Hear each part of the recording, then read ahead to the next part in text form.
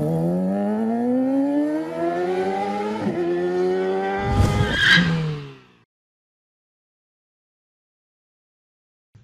everyone, this is the CRM Ninja bringing you another episode of the Oops Factor.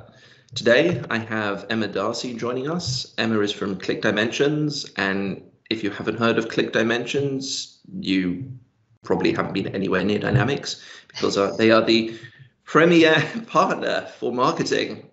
Even with the solution that Microsoft brought with marketing, they're not quite there yet. So Emma does a really great job at spreading the love around. So, Emma, welcome to the show. Hey, thanks so much for having me. I'm super excited to be here. My pleasure. So, before we get started, I have a random question for you. Your Twitter handle is tattooed CRM girl.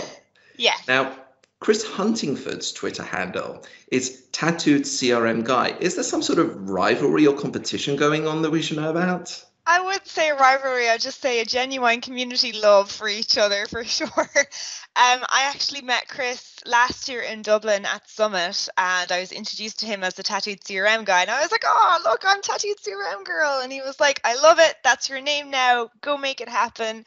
And um, I think it was on Twitter or something. I used to just go by I don't know what it was. I went by like Buns and Roses because I like rabbits and I like plants, so I went by Buns and Roses for a while. And then when I went to Summit and started thinking, Jesus, I actually really like this. I could make something of it. Um, Chris was like, "You should be tattooed CRM girl. We could like be a partnership. It would be great." And I'm like, "Okay, cool." And so I I did it, and it's just kind of taken off. Honestly, it's been great. It, it, it, was really great. I mean, Chris was the one who actually got me to activate Twitter on my phone. He said, There's no way I can do anything in the community if I didn't have Twitter on my phone and tweet. So, That's very true. There and then did it. Uh, Chris is Chris is seriously great. Actually, have him coming on the show soon as well. You should know. Oh God, his yeah, that'll be one to watch for sure. it should, indeed. As I spent about half the day already with in multiple meetings with him. Anyhow, so you have an oops factor story. Oh my Share God, it with us. I do. So prior to working at Click Dimensions, I worked at a little ERP shop based out of Greenville, South Carolina. Um, they are not dynamics related in any way. So before people are like, how does this woman still have a job? Just so you know, it's not dynamics related. So I have a slight history in AX and ERP from back when I lived in Ireland. And when I first moved to the States four years ago, I took a job working for the ERP shop that I'm talking about. And the job I had when I worked in Ireland was as a system admin. I didn't do implementation or anything like that. And I was very upfront in my interview. You know, I don't, I'm going to need a lot of training. I know the basics, but I'm going to need some training on implementation. So you and, told them um, essentially that you can keep everything running and everything yeah. up and everything going smoothly, but yeah. that you weren't the person actually putting it in place. Correct. And actually, for my interview, I demoed some CRM stuff, and because they wanted me to demo something I knew very well, so I actually demoed some CRM stuff because I'd done implementation in CRM before, and I was like, "Great, this seems good. Everyone seems really nice. I think I'll fit in pretty well." Well, turns out that the training was minimal. It was very much, you know, jump into the deep end, figure out how balances and ledgers and cash books work. And I'm not an accountant, I had no idea. And one of the jobs that I did was on site with a client where I was doing data transfer from their old ERP to their new ERP system, and it was all done via SQL. So I they had so, so they had the new system already in place. Yeah. And you were the only person, you were the person responsible for transferring all the data. yeah, so you could see how this is going to go horribly wrong. Um, I have minimal SQL experience. I know how to drop tables. I know how to do queries. I know how to do some inner joins. That's about it.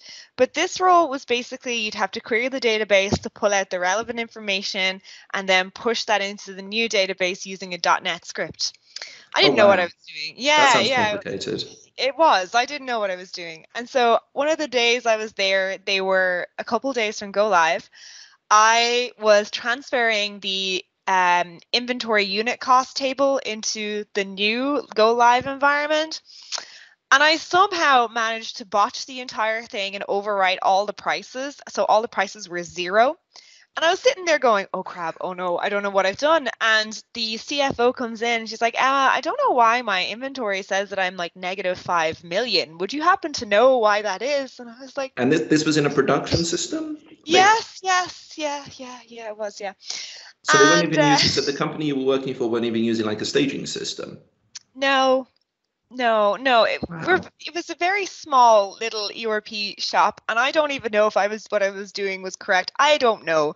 And so uh, she comes in and she's like, "Do you know what this is about?" And I'm like, "That's very strange. I don't know how that would happen. Let me just have a quick look for you." And so, you know, I go into the database, run a quick SQL query, and I'm like, "Oh God, everything has a price of zero. I have no idea how this has happened." And so I basically had to go to my boss and look and say, look, I'm after totally destroying this production database. The backup was a day old, so it wasn't already Oh, up to date. Yeah. And so we had to like work backwards and try and figure it out from there. But um I handed in my resignation a week later because I could not deal with that stress or that pressure. Clearly I was underqualified to be there the day of my go the day of go live when I was there, um, I was the only person they sent for go live. I did not know this system at all. I'd been at the company for maybe six months, and I showed up on site, and the head of uh, warehousing was like, "Oh." You're here for go live. I'm like, dude, man, I don't want to be here either, but we're gonna just try get through this and do our best. Sounds like And they were quite enthusiastic about seeing you again. they really didn't like me very much and that's fine. I didn't like being there. It was pretty pretty terrible.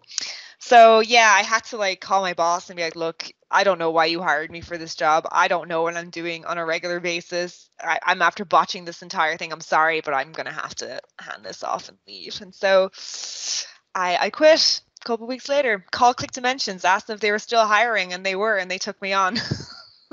I didn't tell them that story. And, and they hopefully they didn't check it out. Okay. correct correct yeah So from that, what do you think are good lessons to learn from it, taking forward into projects? I learned that don't do work on production.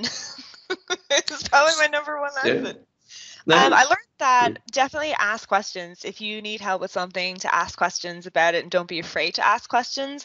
For me, I felt like I was firstly the only female at this company. I think there might have been two others, but I was definitely the only female implementation. I was the only person under 30 that worked there.